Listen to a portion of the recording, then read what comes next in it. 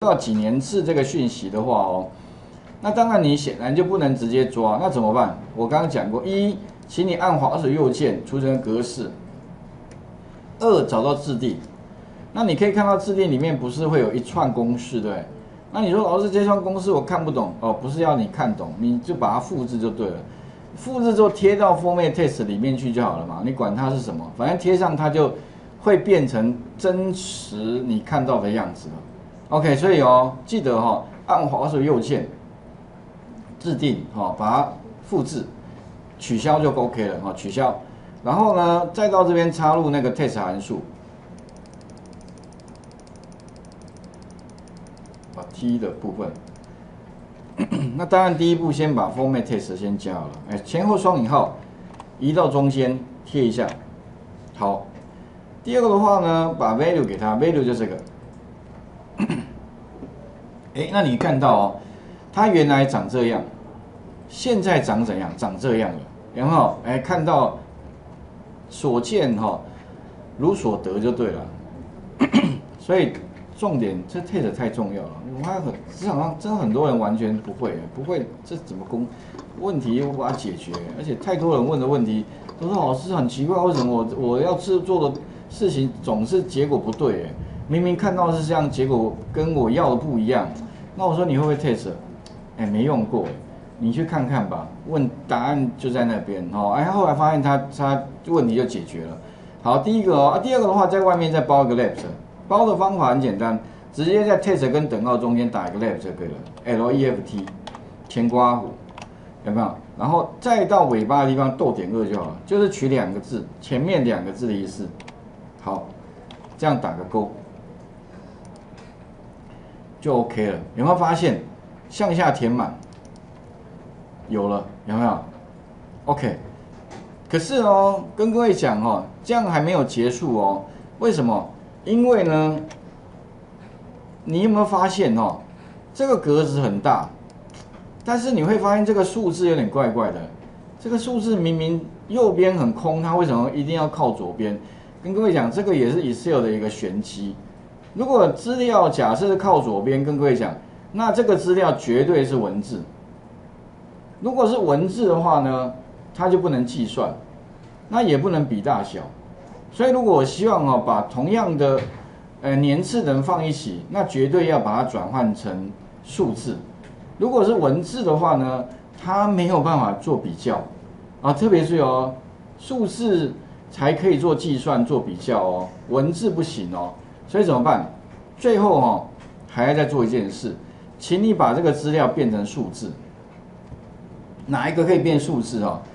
其实你可以插入函数啦，这边其实文字类最下面的倒数第二个就是了，value 嘛，将文字资料转换成数字资料。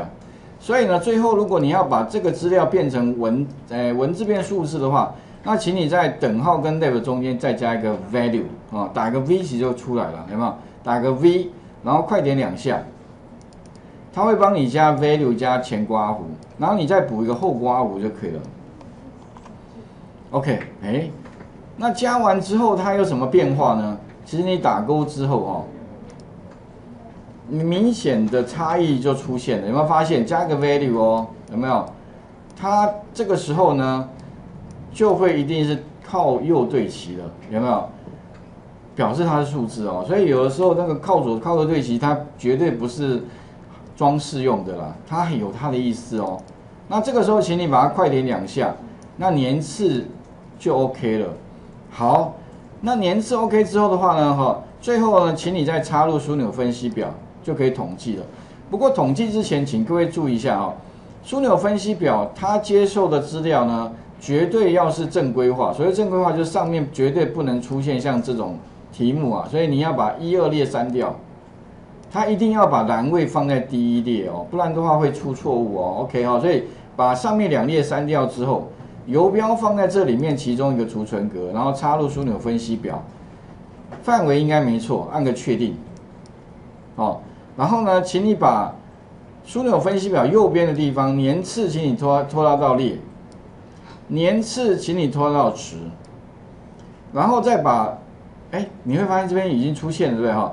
然后可是我要的是年次五十八几个人，不是他几年次哦，所以他帮你加总就错了。所以请你把值的这个下方有一个箭头哦，把它改成叫做值的栏位设定哦，改成计数，不要加总哦。计数的话算几个人？那你可以看到哦，好像五十八一个，好像最多的应该七十一年次的哈。可是我要的，你说老师我不是要几年次的，我要五十五年级嘛，五十到五九，六十到六九，七十到七九，放一起的话，那最后呢，记得哦。请你在 A 五的储存格上方按右键，然后找到找到什么组成群组，来特别注意哦，按右键哦，组成群组。这个时候呢，请你把它根据，哎，因为五十开头嘛，所以输入五十，结束的话就七十九好了，哦，哎，五十到五九一个 range 嘛，哈，六十到六九，哎，所以呢，间距值应该多少？应该是。五十嘛，对哈，OK，好，这样就 OK 了。那他最后会帮你把五年级生放一起，六年级生放一起，七年级生放一起，有没有看到？哎，就统计出来了。但是你说老师这样子看数字比较不直觉，有没有直觉一点方？有，你直接在右上角看到一个枢纽分析图，直接把它改成什么？改成就是直条图就好了。这样不就马上有图了吗？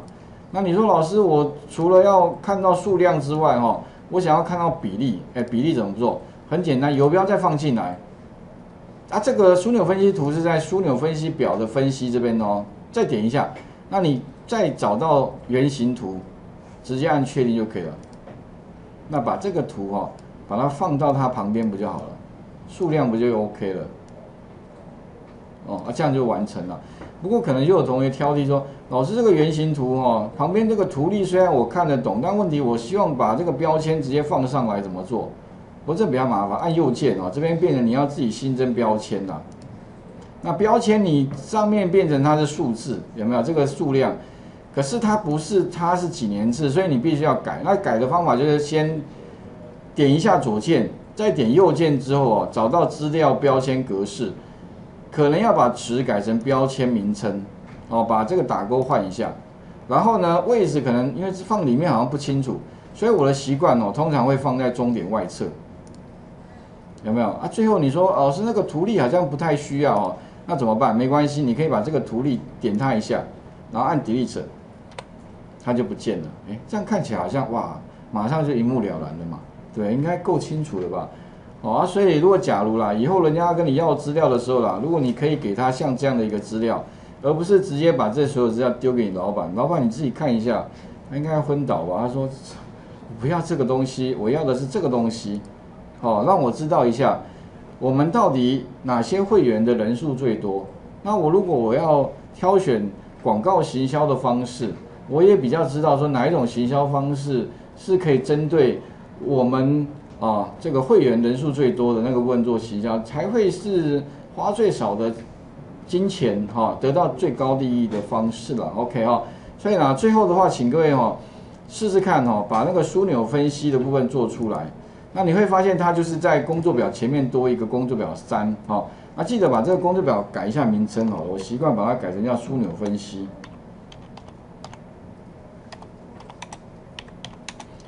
好，这样的话。今天的这个呃练习大概就到这边啊，最后呢给各位延伸一个啦哈，你自己再做做看啊，血型的数量跟比例哈，可不可以帮我统计一下？一样嘛？如果你会用枢纽分析表的话，我两下就做出来。所以枢纽分析表真的是太好用的东西了。所以如果你用 Excel 你不会用枢纽分析表的话，也不会用枢纽分析图。就是你没有用到它比较厉害的地方嘛，哈，OK。但是如果你要用枢纽分析表、枢纽分析图之前呢，记得哈，还是需要使用函数跟公式产生你要的资料，你才有办法做后续的。所以有一点像因果关系，前面没有因，没有后面的果，嗯，不可能说突然，你你如果假设这些东西都没有先产生的话，你是没有办法做枢纽分析的，OK，哦，所以这个地方。可能要特别特别的小心，就是资料以后的话，我们后面会有再更大量的，现在一百个吧，以后的话可能有一千个、一万个，甚至十万个资料，你要很快统计，其实结果一样嘛，OK，做法都一样哈。好，那时间也差不多了哈，不然我们今天就先讲到这里哈。然后呢，你们就把这个作业，如果你今天可以做完，你就把它存档上传，就完成作业缴交。